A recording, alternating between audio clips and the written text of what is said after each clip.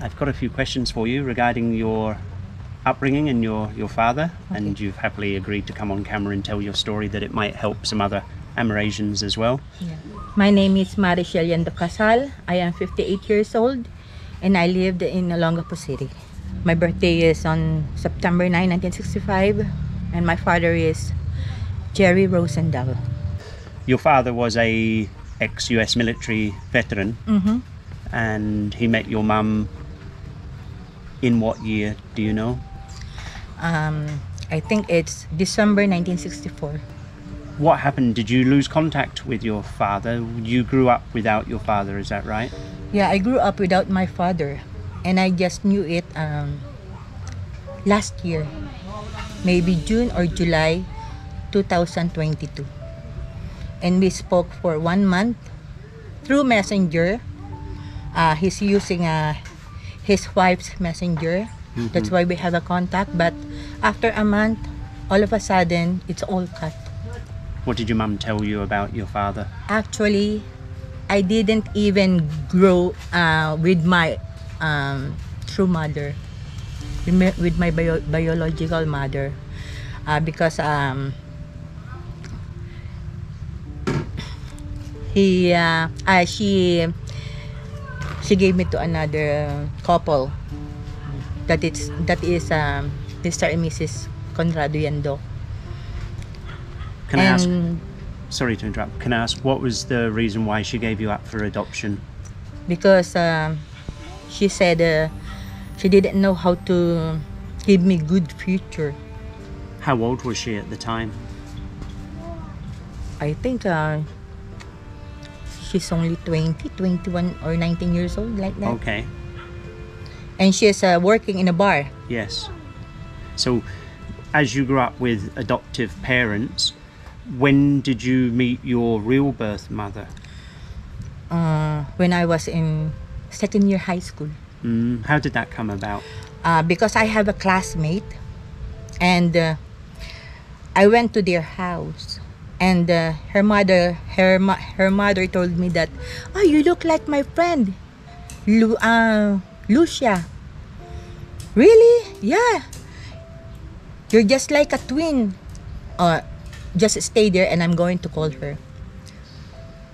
And I didn't know that she's my true mother. What happened? Your mum came, did she? Yeah, she came. How old were you? I was in second year high school. What what age? I think uh, I'm 15. 15. Yeah. So up until then your adopted parents hadn't told you. You knew nothing. I knew nothing because my fa- my adopted um, father always told me, "No, you're my daughter. Don't believe them." But my neighbors always telling me, "Oh, uh, ampon, ampon." That is, oh, uh, that's what they call me. What's Ampon mean? Uh, I'm a. They telling me that I am an adoptive ad- adoptive daughter. Did you ever look at yourself in the mirror and think, why is my skin color more white? Why do I look a little bit Western? No, because uh, they are half Spanish, Ah, half Spanish. That's okay. why, especially my uh, uncle, Mm, she, uh, he really looks like an American. okay. So you never had any inkling at the time. Were you shocked on the day? Did your mother come to the house on that day? Not in our house, but in uh, your friend's house? yeah, Your your friend called your mother on that day that she saw the you? mother of my friend called my mother Mm. to show her that I look like her. What happened? Can you tell but me? my mother knew that it was really me, yeah. Her daughter. What did you, the, your mother say to you? Did your mother say to you anything, anything on that day? Like Yeah, she admitted? yeah, she admitted. Tell me about it. What happened? uh, she told me that uh, I'm sorry that I give you to another couple uh, because uh, I don't know how to give you a good future. How did you feel? Were you in shock? Did you embrace her? Did you No. forgive her? No, Were you angry? not really, but uh, I'm hurt. I'm not. I'm not angry. I'm hurt. Mm. But uh, I have no uh, other. Uh, what they call this? Um, o- other things in mind because my adopted parents really love me Right, and they really give me the best. right. Was your mother living in the, the same area as you at the time when your your friend's mother called? Was your mother close by? Was she living Yeah. in the same town? Yeah, and every and every day I go to school, from home to school and school to home. She always see me passing by her uh, um, house, That's amazing. but she didn't even talk to me. But sometimes, uh, she's going to go to my adopted parents' house and uh, she's going to ask some money. Mm. But I didn't know her that time. Did she have a hard upbringing? Your mum was was she poor? Maybe. Mm. I don't know because uh, one of my um, one of my uh, uh, brother uh, she took she, she, uh, she took good care of my brother. And now my brother is already in the states. Right. So sh- your mum did raise another child, Yeah. your younger brother. Yeah. Okay. Why do you think that she couldn't take care of you at the time? because my ma- my father uh, didn't know about me and um, paano bang na ano I, because my father didn't send money that's why she do not want to take good care of me maybe if my father knew that I exist and send her some money maybe she didn't give me away for, ado- for adoption So from that time that you met your mum, did you begin to get to know her afterwards? Did you become close with your mum? No. No. At what point did you find out from your mum? When? How did you find out then that your father was a um, ex-military, U.S. military? Actually, she didn't told me that. She didn't told me anything. Only my adopted uh, mother told me that uh, your father is an American. Uh, and when I asked my real mother the name of my father, she even told me the name is uh, ano? Uh, the one uh, who's playing in the NBA, uh, Grant Grant uh, Grant Hill.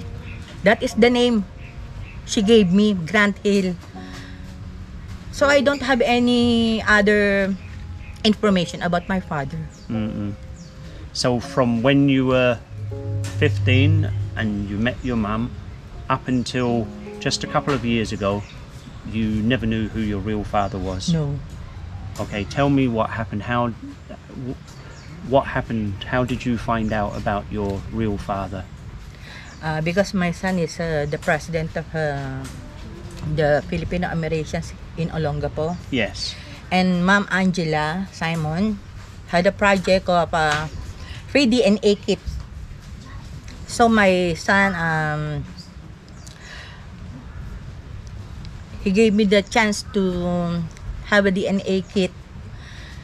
And uh, when the DNA kit, I didn't even had the willingness to find my father because I don't know any ano eh, any information about him. Mm. But my my but my husband and my son said, "Come on, mommy, try it." Because that's i- DNA and they have a DNA bank in the US. Yes. So we so they can find your father. So I'll try I try it. Mhm. After after a month Yep. I tried the DNA and sent it back to RAW office. Mm-mm. And after, um, I think, uh, three week, I, ano, six weeks, Ma'am Angela texted me na we already found your father. He's alive. How did you feel at that moment? Oh my God. That is 6 o'clock in the morning. She called. No, she just texted me and I woke up and I, You read it. yeah, I read, I read her message and uh, uh, we, we, we already find your father and your uh, siblings. Uh, he is still alive. Was it a hundred percent match with Yeah. your father? So it Yeah. was your father's DNA. Yeah. had done a DNA Yeah. test with Ancestry. Yeah. But he didn't tell it right away to my father. He Yeah. contacted my sister first, Marty, Okay. so that Marty is the one who's going to tell it to dad because Right. dad has a new wife. Right. Mm. And then after that, uh, somebody um, uh, sent me a message in uh, my, my messenger, and that is Patty, the wife of my father, Yes. and told me that uh, just give your father um, a few days, sabi niya, just to sink, uh, Just for it to sink yeah, yeah, just to sink in. So I said yes. Oh. But after just a few hours, my dad called me. So he was the one that called you? yeah. you. Will you how, how tell take take me oh through my it? God. I can't explain what I feel during that time. In the morning, 6 a.m., Ma'am Angela texted me. Yeah. And then, after that, my sister Marty called me. Yeah. And then after that, I received a message from Patty, the wife of my father. Yes. And then after a few hours, maybe two, three hours, my father called me. And in that first part of the yeah. day, Yeah. it's amazing how quickly it, it goes from knowing nothing Mm-hmm. through to getting the DNA results back, Yeah. and then you're actually speaking to your father yeah. on the my phone. heart is pounding. I am crying. What did he say to you?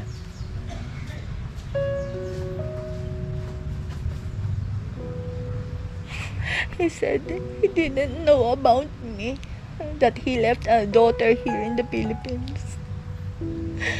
That's why, He never knew that your mum was pregnant. no. Didn't do anything. But I am really thankful to Mama Angela that I have found my root. That's Ma'am Angela Simmons from fatherfounded.org Yeah, who help yeah. send DNA kits. Imagine I am already 57 years old. After how so many years? Did he accept you? Yeah, What were his words? Can you remember? You look like me because you're my first child. That's what he told me. Had he received a picture? Did he look on Facebook or how did he see your picture? Um, because he called me video call. Video call. Yeah, he right. video called me. Right. That's why. Sorry, I thought it was just. Yeah. Okay, so it was a video call. You must have been shaking, looking at your father. Yeah. And I'm so thankful, really, that uh, after 57 years of um, thinking, where's my father? Who is my father? Does my father knew that he left a daughter here in the Philippines? All, all my questions have been answered in just uh, half day. Yeah. And that's the power of DNA. Yeah. Without that test, you would never have found him. Yeah. That's And true. after all of these years, through the help of Angela Simmons from fatherfounded.org, you were reconnected with your long lost father. Yeah. And I'm so happy during those days. I thought it would never end. Now, you were telling me that since having spoken to your father, his health is a little bit up and down, and uh, you've only spoken to him that once. Or did you speak to him a couple of times? A couple of times. He's always calling me. Right. So He's he was always really accepting of you. Yeah. And and even my son, Yes. we we we uh, talked to my dad and he said uh, you know when i was 19 years old and he even sent us a picture of him and he looked like jaja Your son. yeah just like carbon copy Yeah. Hmm. When was the last time you spoke to your father? i think uh, august August of last year or this year? Yeah, last year. Uh, 2022. Yeah, 2022. Is there a reason why you haven't spoken to him for so long? Because uh, I cannot contact him on his wife's messenger. There's a. Did she close down her messenger, or Maybe. she- do Maybe. you do you think there's maybe an element of jealousy, or perhaps do you know anything why she would have done no, that? no, no. But I am not asking for too much. Just I just want to have a. I just want have. What do you call this? Uh, connection with my dad. A father-daughter Yeah, relation. yeah. I'm not even asking for anything. Has your father got uh, children in the states? Have you got half brothers and sisters? Yeah, Have I you spoken three. with them? Yeah. Ma- uh, Marty, uh, Jerry, and uh, Travis. And they all accept you, Yeah. and they're all happy to have spoken to you. Have you tried Marty to? is the one who, ano, who, who first called me, Right, my sister. right. But Jerry, we didn't talk in the phone, but uh, we're always chatting. Okay. You're and in, you're in contact with them. yeah, until now, we're friends in uh, Facebook and Messenger. Right. Until now. Have you asked them if there's a problem? uh, my brother told me that uh, because of my father's PTSD. Right. Post-traumatic stress Yeah. disorder. Yeah, but I said, um, how come that is the reason behind uh, dad not talking to me? Uh, if because he's the one who's who, Yeah. who caused me. Yes. So it's not like you're chasing your Yeah. father. It was your father chasing you to speak Yeah, to after all of these years. He didn't know that he had had a daughter. And I even send um, send my brother uh, our um, pictures when uh, whenever we video call. Mm. I send I send him the pictures. Uh, look at look at the picture of uh, dad and me. Mm. Is that the sign of uh, a person who has P- PTSD? Yes. But uh, in my heart, I know that maybe it's because uh, of um, Maybe there's wife. some other factors His wife. involved.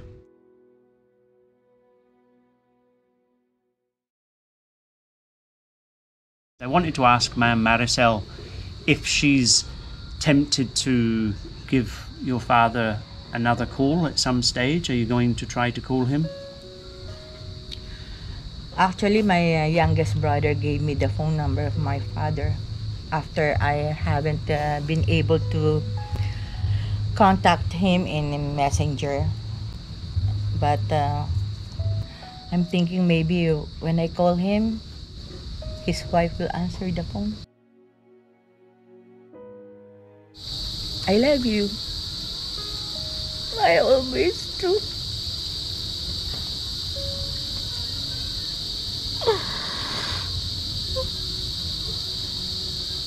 I don't want anything from you. I don't need your money. I just want to talk to you.